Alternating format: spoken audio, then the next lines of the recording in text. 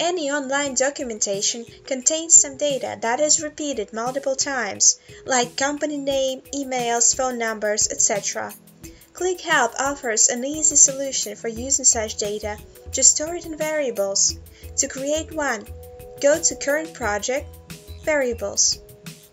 Here you can manage them, either for the project or for the whole portal.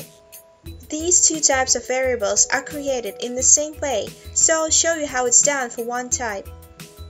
The company name variable will have the same value for the whole portal most likely. Let's create a global one then.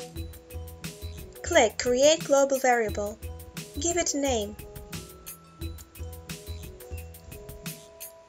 And write the value for it. OK? Let's create one more. Phone number. OK? Now let's return to the project. Click Projects. This is the right one. Click Open. I'm going to place the variables to the footer. Lock and Edit. Choose the place where the variable will be put. Go to the Single Sourcing tab of the Editor's ribbon bar the Variables section, click here and choose the correct variable from the drop-down box, Company Name. Click Insert Variable. Let's add the phone number as well. Clear the variable name, choose the correct one, phone number, insert variable, click Unlock and View to see how it looks in the topic.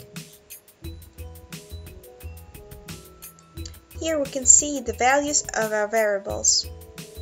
Besides, if your company name or for example phone number changes, you'll need to change it only once in the settings and it will change for the whole portal or project depending on whether you're using global or project variables. Let's check. Go back to current project variables. Change the value for phone number. Click here, Edit, our phone number has changed. Save it. Go back to your project. Open it. Let's return to footer. And you can see 1 instead of null here. This is how the change of the value influenced the whole project. If you have any questions, feel free to contact us.